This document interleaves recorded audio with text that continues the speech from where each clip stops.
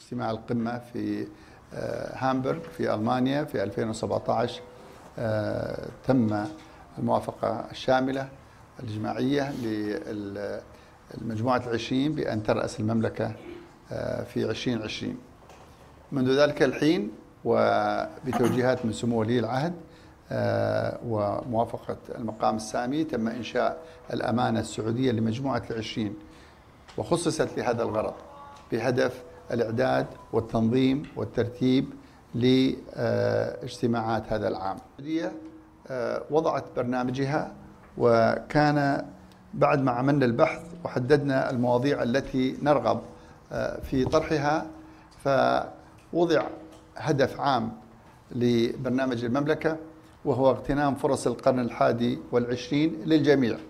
للجميع جميع الدول جميع شرائح المجتمع في كل دولة. وهذا الهدف العام ينقسم إلى ثلاث محاور لتحقيق هذا الهدف. تمكين الإنسان الحفاظ على كوكب الأرض وكذلك تشكيل آفاق جديدة.